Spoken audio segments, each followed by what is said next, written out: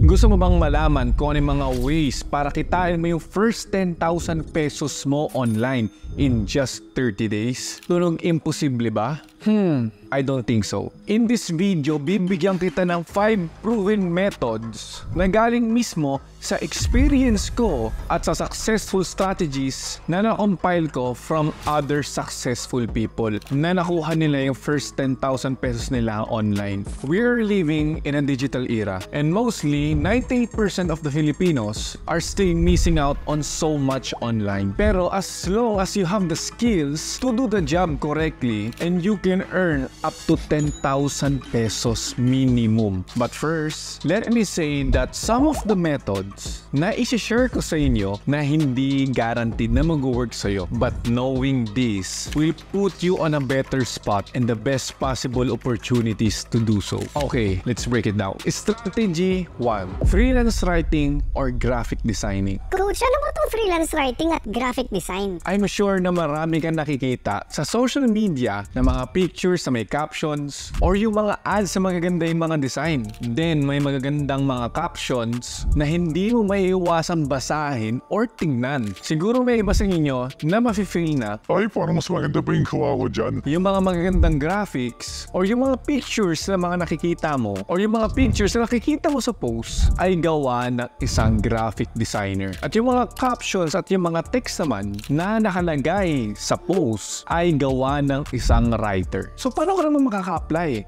as a freelance writer or a graphic designer? One proven actionable step is to create your own profile on Upwork. Marami naghahanap ng mga writers and graphic designers these days kasi online na halos lahat ng mga businesses sa buong mundo. Being a writer doesn't limit lang naman sa pagsusulat ng captions. Pwede ka rin magsulat ng script, trends, tweets, emails, blogs, at etc. The same goes as well sa graphic designer. Pwede ka rin mag-design ng mismong product, posters, packaging, illustrations, etc. Kung may mga previous work ka na sa writing at graphic design, upload it into your portfolio, start applying for short-term projects, and showcase your best work. If you can learn the creative skills needed or meron ka na mga skills dito, mga platforms like Upwork and other job sites can be your gold mine. Now, kung hindi mo naman tinutukoy yung sarili mo as a creative or nag-aalangan ka sa creative skills mo kasi mas magaling ka sa technical skills mo at kaya mong ituro yung knowledge and experience mo, well,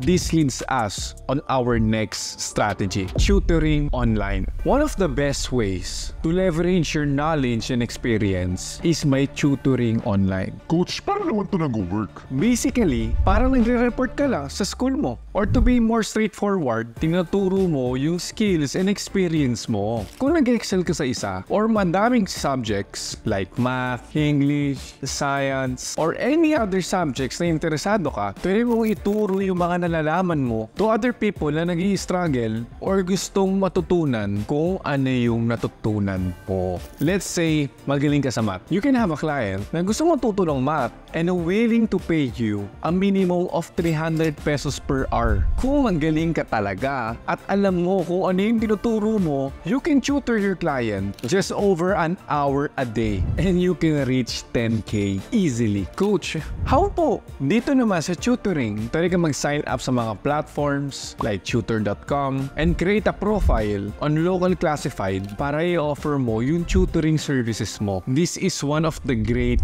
ways to leverage your knowledge and make a quick income. Now, kung hindi ka pa rin confident sa creative and teaching skills mo like writing, graphic designing, and tutoring, well, kung meron ka mga extra gamit na hindi mo naman ginagamit, the third strategy is you can sell your products online. This is the most straightforward way to earn your money online. And dito na rin ako nag-start sa journey ko. For example, dito sa Phenomenon Apparel, nung bumibili ako ng mga damit sa Taytay Rizal, na mga okay-okay na mga nasa gilid-gilid lang, ang binibenta nila is nasa 50 to 150 pesos per windbreakers or jackets. Ngayon, kapag pumapasok na ako sa eskwelahan ko, gusto nilang bilhin yung mga damit ko dahil nagagandaan sila. Kaya ko binenta ang aking windbreakers and jackets sa kanila 10 times the price kasi may brand din naman eh. Ngayon, kumita ako dahil doon lang sa pagbebenta ng aking gamit. Ngayon, dahil doon, doon na rin nag-start ako mag-build ng aking brand na Phenomenon Apparel nung ako ay nasa college pa. Kaya isa yun sa mga ways para kumita ka ng first 10,000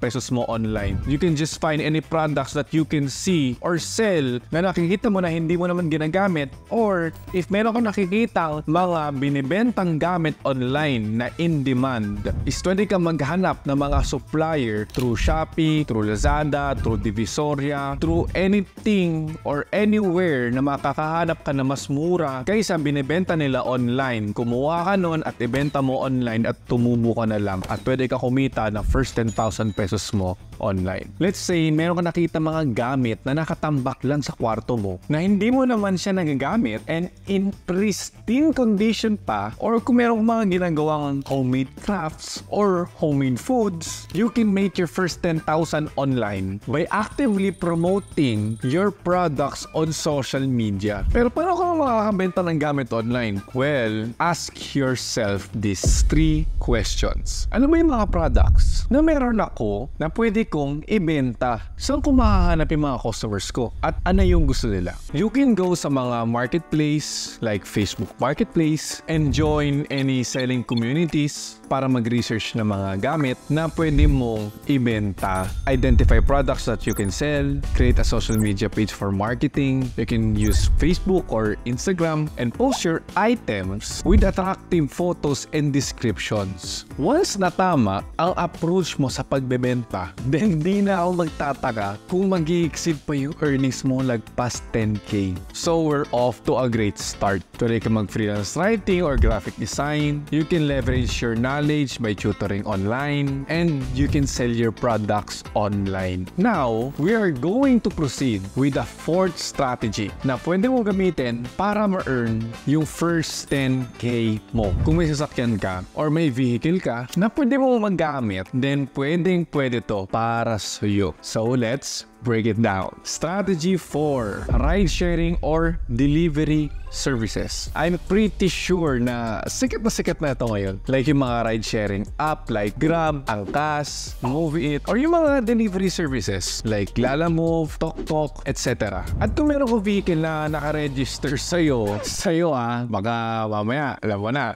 Pwedeng pwede mong gamitin yung vehicle na meron ka para maka-earn an average of 500 per day easily. This is how part-time Grab drivers earn their money. It's either may ihahatid silang pasahero or maghatid sila ng gamit from point A to point B. Kung meron ka namang motor yung sayo ah, at gusto mong mag-rides all day at may bayad, you can apply sa Angkas, Move It, Joyride para mag-take ng mga passengers na gusto magpahatid sa iyo through motorcycle from point A to point B. Pero hindi porket na may vehicle ka, isuri ka na magtrabaho agad-agad. Of course, you must undergo and complete the necessary trainings once na mag-apply ka to become a driver for Grab, Lalamove, Alcas, etc. Apply to become a driver, complete the necessary trainings, and start accepting jumps. So to reiterate, strategy 1, freelance writing or graphic design, strategy 2, tutoring online, strategy 3, selling products online, strategy 4, ride sharing or delivery services. And finally, ginawa ko tong last. Kasi I'm sure na this one is one of the hardest yet the most high leveraging ways para ma-earn mo yung first 10k mo online. Hindi siya imposible. Pero the whole point ng video na ito is to give you ways para malaman mo yung 5 practical ways to earn at least 10k in the next 30 days. And this last but not the least strategy that you can leverage to earn online is by offering digital marketing services. Like I said dun sa first minutes ng ating video, we are living in a digital era. Most of mga businesses ngayon is online na. So it would make so much sense to offer your digital marketing services sa mga local or foreign businesses in exchange for commission and compensation. So, ang daming paraan para maging digital marketer online. Ikaw na bahala kung ano gusto mong piliin sa list na ibibigay ko sa'yo. Social media marketing, search engine optimization or SEO, website design and development, Facebook and Instagram advertising, content marketing, email marketing, and so much more. Sobrang dami pa yan. And to run a successful business, sobrang importante ng marketing, mas lalo na digital marketing. And that said, I'm pretty sure na sobrang daming opportunities na pwede mong i-reach out para i-offer yung mga services mo online. And if you're good and pinag-aralan mo talaga yung digital marketing service na gusto mong i-offer na pwede kang bayaran ng 10,000 pesos per month. Minimum per month po yun. At isang client lang yun. Okay, pero bago kita i-overwhelm sa mga opportunities na pwede mo makuha dito, I'll just show you how you can leverage this to earn a substantial income. Now, kapag meron ka nakuha na isang service na gusto mong matutunan sa list na binigay ko kanina or kung ano yung digital marketing service na na-research mo for starters and you can reach out sa mga small businesses in your area at i-offer yung mga services mo para ma-enhance yung online presence nila. As long as you put in the work at nagkaka-results ka sa mga client mo, you can use them as your case study and include them in your portfolio to attract and reach